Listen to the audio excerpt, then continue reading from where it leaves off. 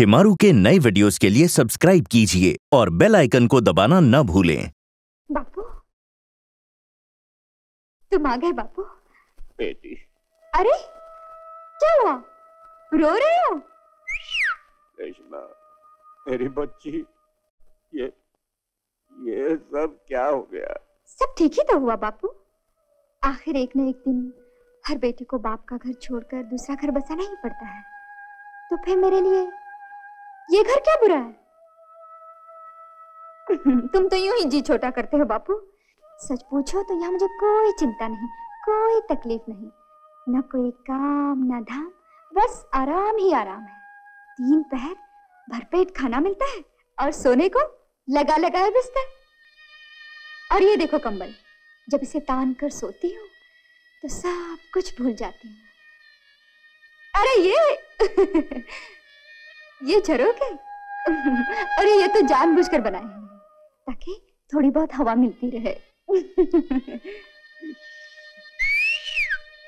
माँ, एक बात तो मैं भूल ही गई। बाप बेटी के घर आए और बेटी खाने को भी ना पूछे एक रोटी और थोड़ी सी दाल, बस यूँ लाई। बापू, आज मुझे बहुत भूख लगी थी। तीन रोटी आई थी, मैं पूरी दो खा गई। बस, एक बच्ची है। लो, खा लो। खा लो ना। मेरे हाथ से खा लो। ओ समझे। बेटी के घर बाप कैसे खाएगा? खा लो, पैसे दे देना। आ गई मीरा भाई। आज फिर गई थी मंदिर। मिलाए अपने कन्हैया से। कब बुलाया है उसने? फिर कब होगा ये मधुर मिलन? समझती है, वो मेरी गीदड़ पक्की और इंस्पेक्टर का बाल बेका नहीं होगा? शायद नहीं जानती। आज से बरसों पहले एक इंस्पेक्टर ने मुझे ये नुकसान पहुँचाया था। मैंने उसका सर्वनाश कर दिया था। और आज ये इंस्पेक्टर मुझसे मेरी बेटी मेरा सहारा छीन रहा है। इसलिए उसे अपनी ज़िंदगी से हाथ धोना पड़ेगा।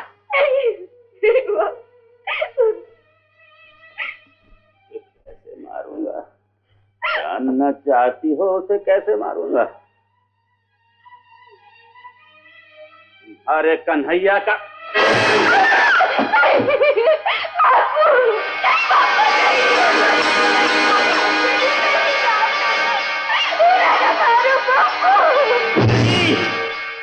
दोनों में से एक ज़िंदा रहेगा। मैं या वो? नहीं बापू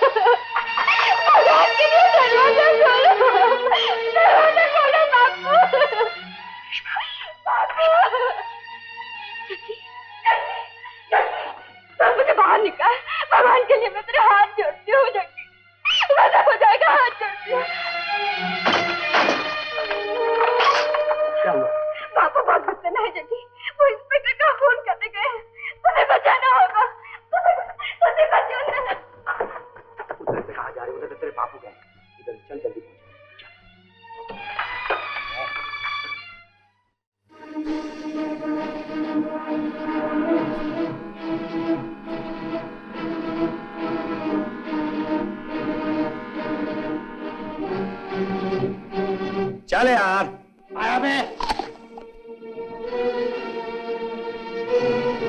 तुम यहीं छुप जाओ। चिड़िया मुबारक हो।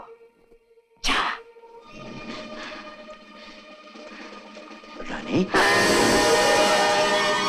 जग्गी। हाँ जग्गे। जग्गे इतना बेवकूफ़ नहीं है जो तुम्हें अपने दुश्मन के घर पहुँचा दे। मैं तुम्हें यहाँ अपना बनाने लाया हूँ जानी। बहन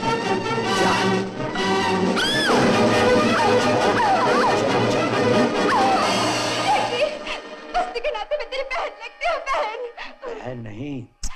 चोरू बोल साली चोरू।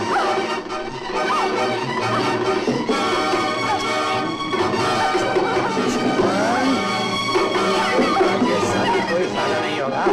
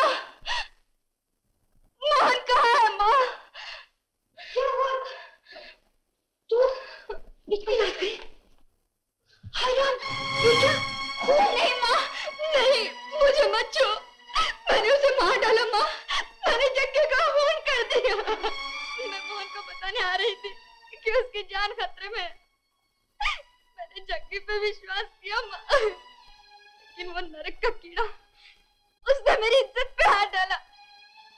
वहाँ कोई नहीं था जो मेरी मदद करता मेरी पुकार सुनता। भगवान भी नहीं थे माँ। भगवान भी नहीं थे। मैंने अपनी लाज बचाने के लिए उसे मार डाला उसका खून कर दिया। हाँ तुमने खून किया?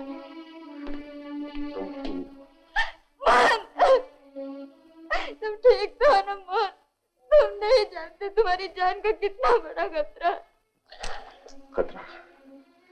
मेरी जान को या तुम्हारी जान को? खबरदार क्यों इसे हाथ लगाए? तू हट जा माँ। इसने खून किया। मुझे अपना फ़र्ज़ पूरा करने दे। तू और तेरा फ़र्ज़। इसने कोई खून नहीं किया। औरत अपनी इज़्ज़त बचाने के लिए कुछ भी कर सकती है। लेकिन वो कानून को हाथ में नहीं ले सकती। कानून? कैसा कानून? कौन सा कानून?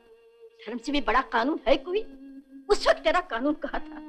जब एक मासूम बच्ची अपनी इज़्ज़त बचाने के लिए रो रही थी चिल्ला रही थी तू चाहता है कि वो अपनी इज़्ज़त लुटे देती और फिर कानून का दरवाज़ा खटखटाती? क्या तेरा कानून वापस ले सकता था उसकी लुटी हुई इज़्ज़त को? बोल अब बोल। कानून के ठेकेदार कुछ तो बोल मुँह से। माँ? मैं तेरी माँ हूँ ना। इसकी जगह मैं होती तो मैं भी वही करती जो इसने किया है। मत भूलो माँ इसने खून किया है। तू खून खून चिल्लाता है हाँ? खून तब होता जब ये खून न करती इसका सर्वनाश हो जाता। मत भूल जन्म जले ये तो बेचारी तेरी ही जान बचाने के लिए आ रही थी। कि तकदीर ने उसे में दिया। ना शुक्री अगर इसी तरह इसकी कुर्बानी का बदला चुकाना चाहता है तो इंतज़ार किस बात का? कर ले तेरे कानून का कलेजा ठंडा। लगा दे लगा। माँ माँ।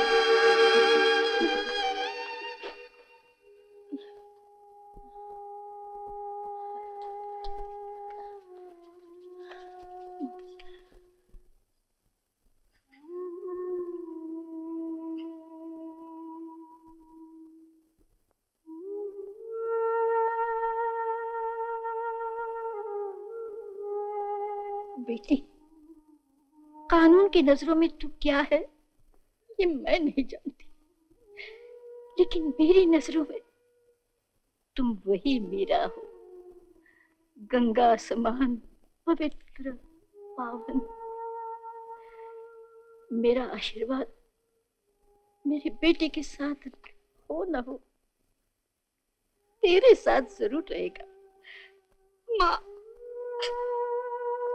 इस संसार के कीच और गंदगी से पटे हुए रास्ते पर मुझे एक ही मंदिर दिखाई दिया, माँ। एक ही।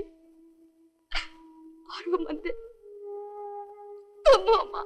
तुम हो। तुम्हारे आशीर्वाद के बाद अब मुझे मौत भी आ जाए। तो मैं उसे भगवान का प्रसाद समझूँगी, माँ। भगवान का प्रसाद समझूँगी।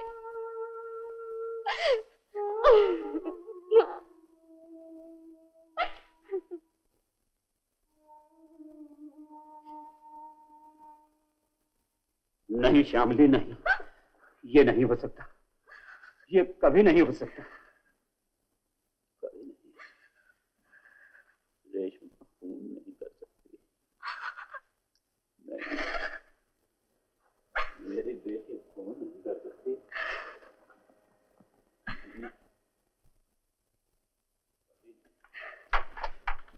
कभी नहीं कभी नहीं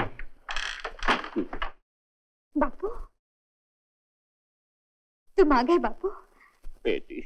अरे क्या हुआ? रो रहे हो? रेशमा मेरी बच्ची ये ये सब क्या हो गया? सब ठीक ही तो हुआ बापू।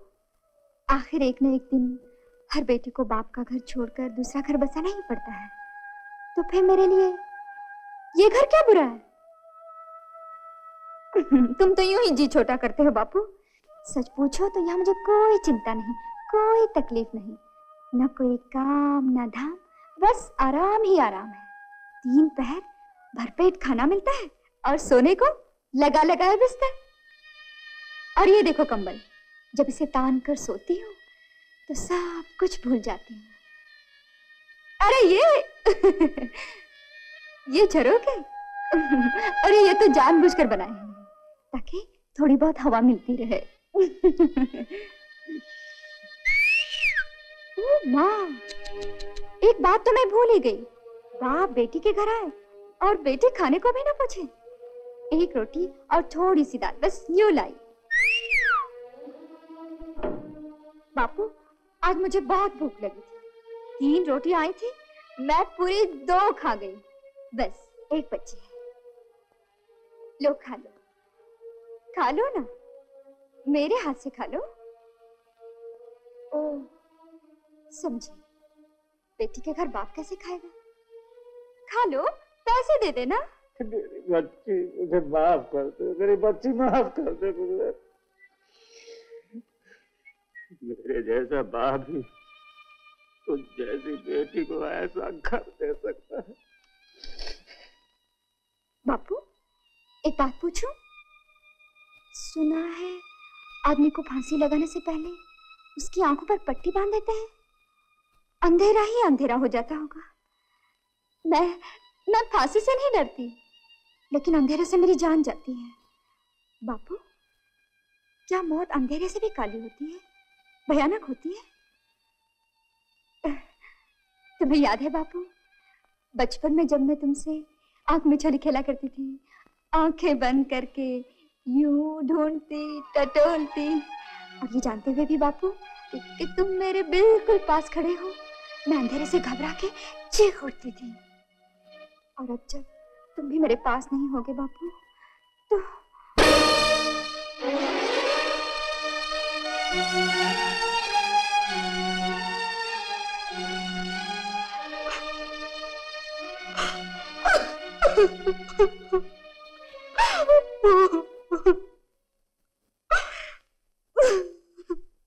बेकसूर तुम्हारी बेटी बेकसूर ये कहते हुए तुम्हें शर्म आनी चाहिए जिसे तुम बेकसूर कहते हो बेगुनाह कहते हो उसने न तुम्हारे मुँह पे कालक मली है बल्कि हमें भी बदनाम करने में कसर नहीं छोड़ी। लेकिन हजूर रेशमा तो मैंने खुद उसे गलत समझा था। मोहन की बहू बनाना चाहा उसे। अच्छा हुआ। उसका असली रूप हम पर ज़ाहिर हो गया। सरकार मेरी बच्ची बेगुनाह है। मेरी आत्मा गवाह है।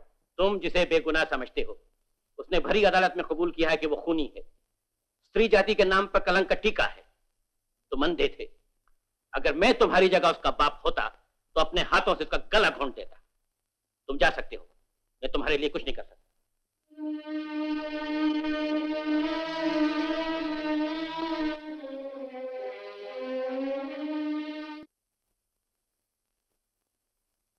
भगवान कैसा खेल है, जिस पराई बच्ची को मैं बदले की भावना से उठा लाया था। एक दिन वो मेरे दिल में इतना घर कर जाएगी ये कभी सोचा भी नहीं था। इसे बचा ले भगवान तुझे तेरा वास्ता इसे बचा ले। पापन तूने मेरा पॉकेट नहीं मारा मेरे पैसे नहीं छीने मेरे बच्चों की रोटी छीनी है। तू तू नीच। है स्त्री जाति के नाम पे कलंक है। तेरे कारण मेरे बच्चों की पढ़ाई का सत्यानाश हो गया। हत्यारी तुमने मेरी मेरी बीमारी की जान। जीना भी तो जीना है। मेरी बीमारी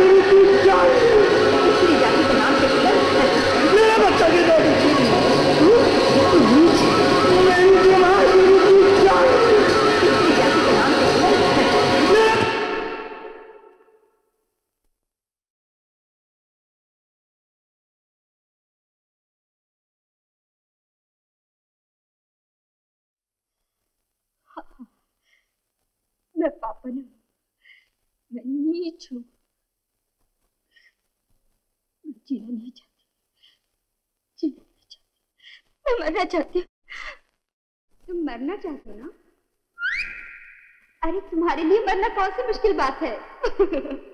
कानून ये है कि अगर कोई औरत अपनी इज़्ज़त बचाने के लिए किसी का खून कर दे तो वो खूनी नहीं है।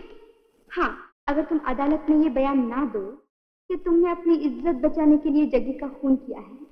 तो तुम खूनी हो। फिर तुम्हें फांसी के फंदे से कौन बचा सकता है?